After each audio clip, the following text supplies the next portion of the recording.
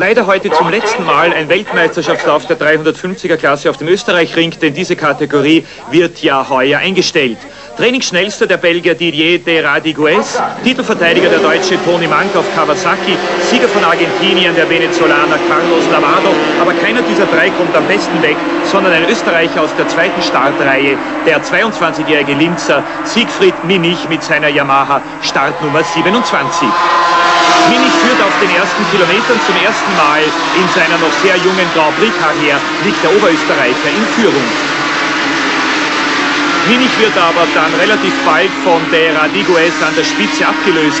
Der 24-jährige Belgier verwendet 16 Zoll Vorderreifen und das erweist sich für das heutige Wetter als die beste Lösung.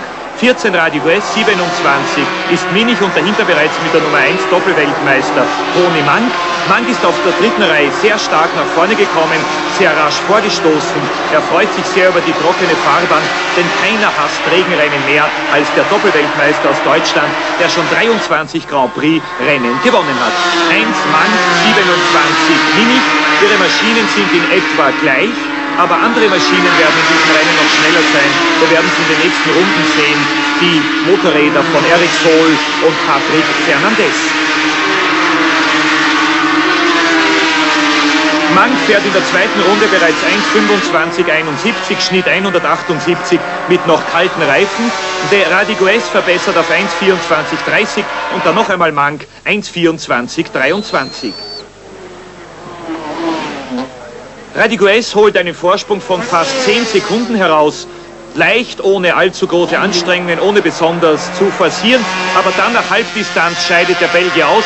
Hier sehen Sie es mit Startnummer 14. Rollt Radiguez aus. Der Grund ist ein Getriebeschaden. Uh, I think I've broken my the gearbox. Uh, I, I have no more gear, so finish. Damit bei halber Distanz Toni Mank automatisch in Führung vor Minich, aber dann taucht ein neuer Gegner auf mit der Startnummer 3, Patrick Fernandez. Der Franzose, der die österreichische Bartol-Maschine fährt, war ja 1977 hier in die Massenkollision verwickelt, hat aber voriges Jahr auf dem Salzburgring das 350er Rennen bereits gewonnen. Damals gab es einen Dreikampf Mank, Fernandez, Eckerold, heute einen Dreikampf Mank, Fernandez und Minich. Erst in die letzten Runden greift ein vierter Fahrer in diesen Kampf ein. Es ist der Franzose Eric Sohl, nur siebenter nach der ersten Runde, Sieger des italienischen Grand Prix in Monza 1981. Achten Sie auf die Startnummer 7, auf den Pariser Eric Sohl. Er kommt erst in den letzten Runden nach vorne, schließt zum Führungstrio auf zu Mank, Fernandez und Mimi.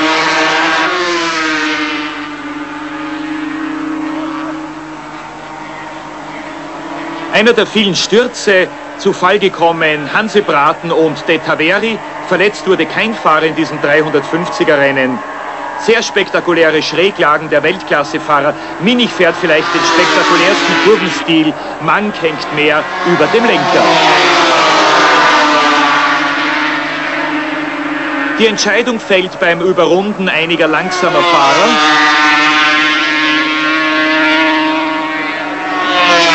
Soul greift aus einem 10 Sekunden Rückstand an, erreicht das Führungstrio kurz vor Schluss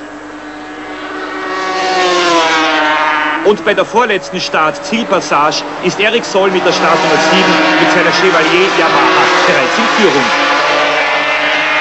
Eric Soll gewinnt, nur 1,27 Sekunden trennen die ersten vier. Soll, Mank, Fernandez und Minich.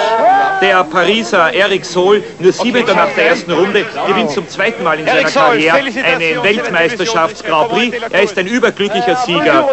Er sagt, ich habe am Anfang Pech gehabt, meine Maschine war am Anfang nicht sehr stark, aber dann habe ich aufgeholt. Wir haben einen super Start gehabt und haben zunächst einmal geführt, zum ersten Mal in einem Grand Prix. Ja, ich habe das erste Mal geführt, aber ich habe gewusst, dass ich diese Position äh, gegen Toni Mang und Eric Sohl nicht halten kann.